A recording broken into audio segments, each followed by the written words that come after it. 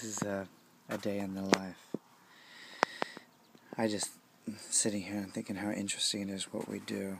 Um, we've got our little one, very covert, and there's our not so little one, and myself are waiting in the car while Sunniva is doing a behavior modification.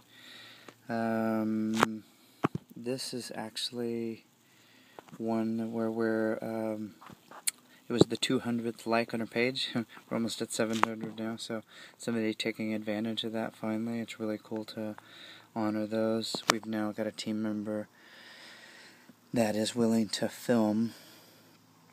Uh, we're wanting to document our behavior modification for a variety of reasons. The clients that we're serving, it helps them to be able to review and remember some of the things they might have forgotten in the heat of the hour, two hour session. You know, it's sometimes a fire hose and a sponge, so I think the video aspect helps tremendously. And it helps us. You'll see soon of a reviewing footage, which I think is some of the most compelling because you actually get to see how the behaviorist mind is working in, in these rehabilitation and, and where our hopes lie. I, um, and it helps her to review. Some cases are pretty cut and dry and easy, and others will be incredibly hard for her, and she'll see where she went wrong. Um, but so assessing it is a big part of it, and being transparent is, an, is a critical component of Solgave. We want to hide behind nothing and, and learn as we go, and show that we're willing and humble enough to do so.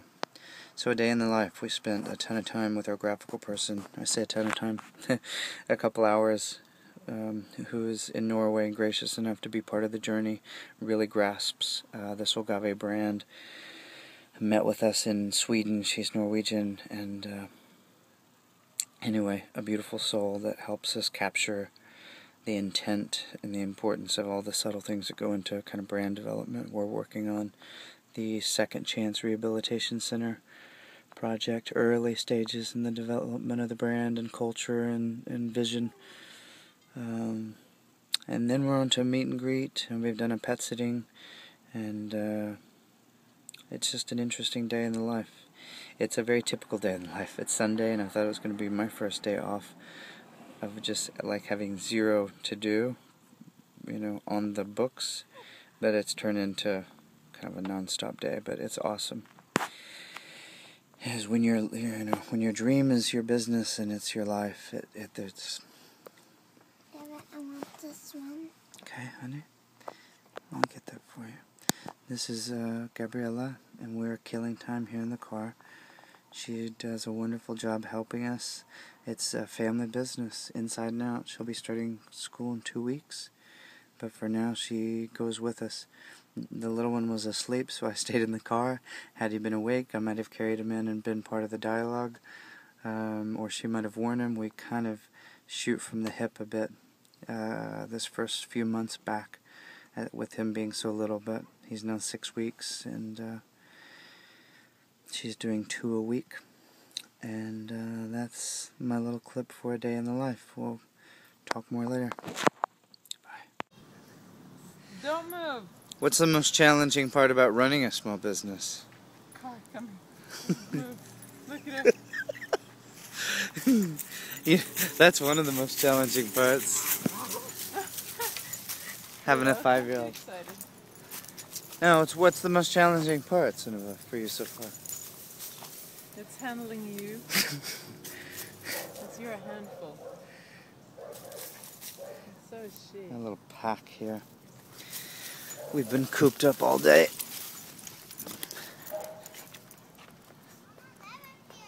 Yep, that's why we're gonna go to the park. Thank you, honey.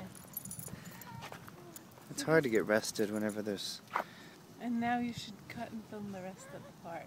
Okay. Look, little beans. Sighthound's off leash. And mini dog. Um, woo! Freedom!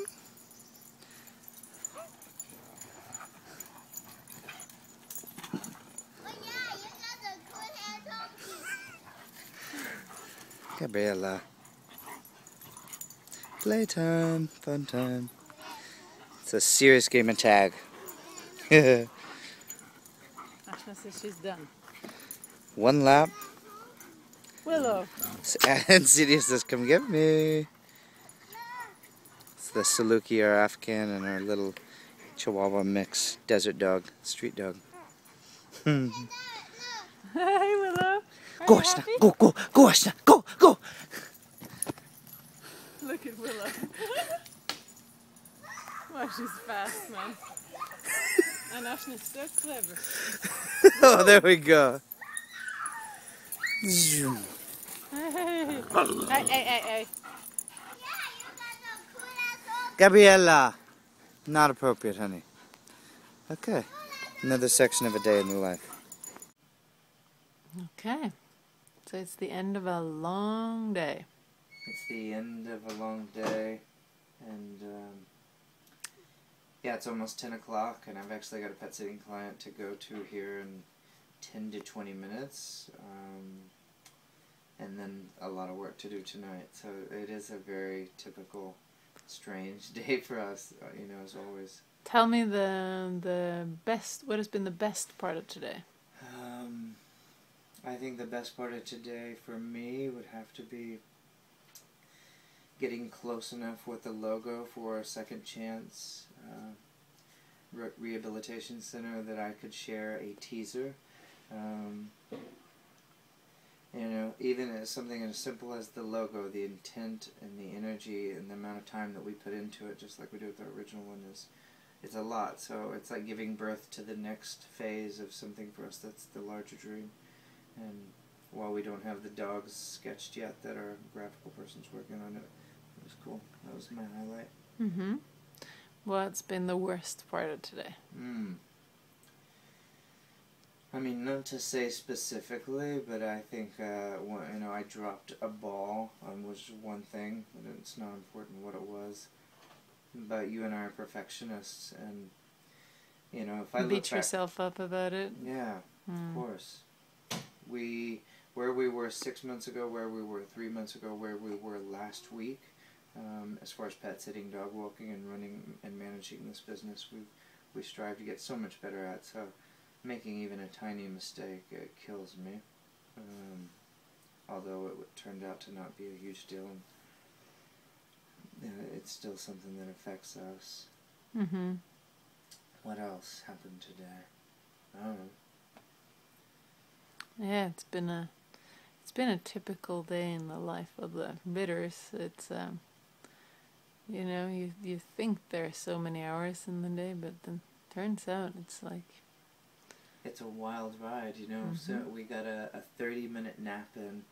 Um, that was one of the highs too. Actually, a thirty minute nap with my wife and, and, and baby boy, because hours mean nothing. You know, when the family business is your life, there's no beginning and there's no end. I mean, the the sleep is even. What? tell me about it. yeah, I know, right? I'm preaching to the choir. And then you can never complain about sleep ever. You know this. you can't complain about anything anymore, can Yeah. It's like that trump card is out, and I'm searching for the next trump card because I know it exists. But yeah, um, I don't know. We've got YouTube videos that we're trying to get up. Actually, I guess I suppose this is the end of a little montage of a day in the life stuff because the, and then another one for you uh, for something separate and. Uh, there's more stuff on my mind that needs to be done, and since we had a cancellation tomorrow on a B mod, I keep thinking of that I can stay up late and work, maybe till midnight, and uh, Hmm. keep pushing tomorrow. Mm-hmm. You know, Is the faithful companion in our this year. it's kind of the nice, quiet time of the night that we get to. Uh, I don't know about you, but I'm gonna go to bed. yeah, you should go to bed, and then I can get some work done. Um, but yeah, another day, another dollar. another day, another 50 cent. Yeah. That's what I would say. That's an American saying. Another day, another dollar. Yeah.